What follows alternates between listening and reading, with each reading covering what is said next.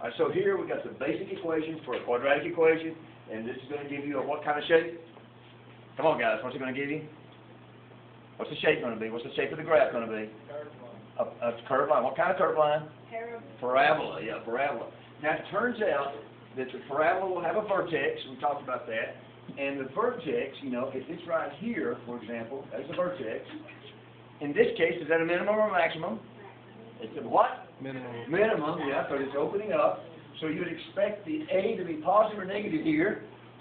Positive. Positive, yes, and it's opening up, and, and the axis of symmetry will come right down through here, right through the vertex. So if x, for example, is, is six here at this vertex, the axis of symmetry is x equals six. It goes through the vertex, every time. So the axis of symmetry and the vertex are always gonna be the same. Hmm. And it turns out to be equal to this.